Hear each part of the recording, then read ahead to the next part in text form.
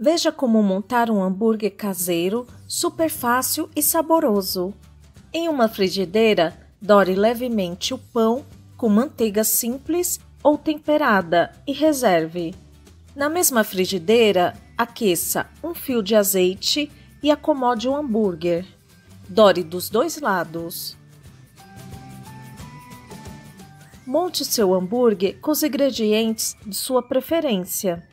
Aqui eu vou usar queijo prato, tomate cortado em rodelas, cebola cortada em rodelas,